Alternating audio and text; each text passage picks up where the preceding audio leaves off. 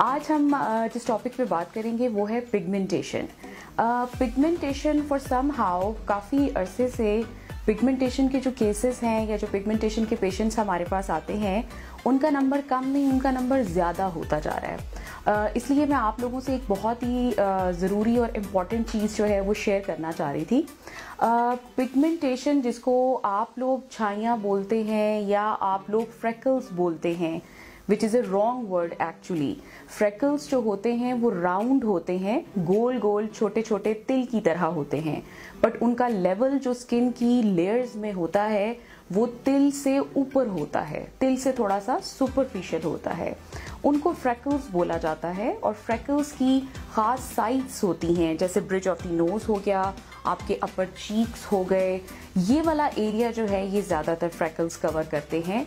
आप लोग जिसको फ्रैकल कह रहे होते हैं दैट इज़ बेसिकली मलाजमा या फिर पिगमेंटेशन मलाजमा जो है, वो पैच की फॉर्म में आपको अनइवन कलर अनइवन तो नहीं कह सकते पैच की फॉर्म में आपको डार्कर टोन जो है, वो नज़र आ रहा होगा।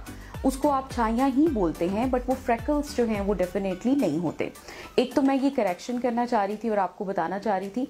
एक और बड़ी इंपॉर्टेंट चीज़ जो रंग को गोरा करने के चक्कर में सब स्टैंडर्ड क्रीम्स अवेलेबल हैं, उनका लगाना है। अब हर दूसरा पेशेंट जो कि पिगमेंटेशन के साथ या मलाजमा के साथ आता है, उसने किसी ना किसी वक्त इनको यूज़ किया होता है। हम तो मना करते रहते हैं, लेकिन क्योंकि वो इजीली एक्सेसिबल हैं और बहुत कम प्राइस में अवेलेबल होती है तो आप लोग शॉर्टकट के चक्कर में कि वो तो लगा रही थी, उसे अभी कुछ नहीं हुआ आपको तो नहीं पता कि उसकी स्किन के टेक्सचर में क्या डिफरेंस आता जा रहा है। वो लगा रही थी, वो लगा रहा था, मेरी फ्रेंड लगा रही थी, या फिर आप लोग जो है वो सैलॉन्स पे या पार्लर्स पे जाते हैं तो वो आपको three two three two four creams का मिक्सचर बना के खुद दे रहे होते हैं और आप लोग उसको लगा रहे होते हैं। ये इतना डेंजरस है, बिल्कुल ऐसे है जैसे आपकी स्किन का नशा है।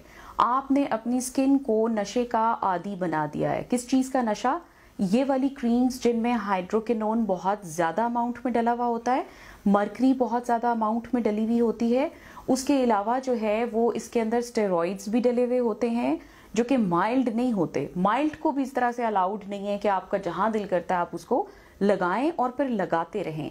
उसके साथ साथ जो है वो इसमें कुछ और ऐसे इंग्रेडिएंट्स भी डाले हुए होते हैं, जो आपको over the period of few nights जैसे आप लगाना शुरू करें तो पेशेंट कहता है तीन से चार दिन में मेरी जो स्किन है वो बिल्कुल ठीक हो जाती थी, डॉक्टर साहब।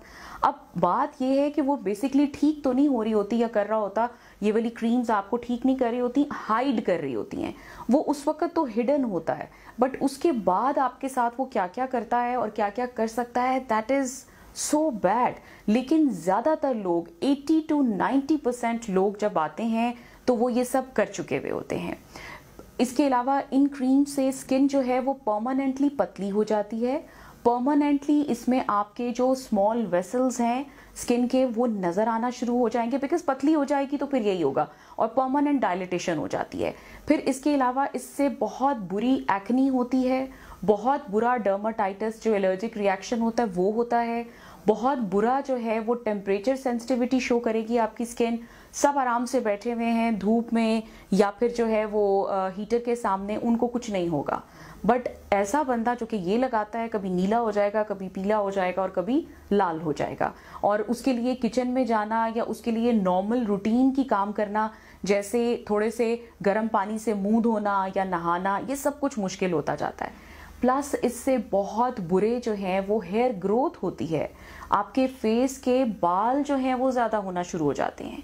आप खुद सोचें कि सिर्फ़ एक रंग गोरा करने के चक्कर में, जो कि आपका नहीं है, आपके हाथों का नहीं है, आपकी बॉडी का नहीं है, आपके पाओ का नहीं है, आपकी बैक ऑफ़ द नेक का नहीं है, आपके डिकॉल्टे का नहीं है, किसी जगह का नहीं है। सिर्फ़ एक फेस का कलर जो है या नेक को फ्रंट ऑफ़ द नेक का कलर बेहतर करने के चक्कर में आपने एक्सेसिव हेयर ग्रोथ ले ली, आपने परमानेंट या इरिवर्सिबल स्किन को पतला कर लिया या थिन कर लिया उसके अलावा आपकी जो है टेम्परेचर सेंसिटिविटी वो बहुत ज़्यादा हो जाएगी। समटाइम्स बहुत बुरी एक्नी होना शुरू हो जाती है और समटाइम्स बहुत ज़्यादा ड्राई रहना शुरू हो जाती है स्किन आपने पाँच या छः प्रॉब्लम्स खुद से क्रिएट कर लिए। तो क्या आप उन छः प्रॉब्लम्स के लिए पैसे और टाइम इन्वेस्ट करेंगे?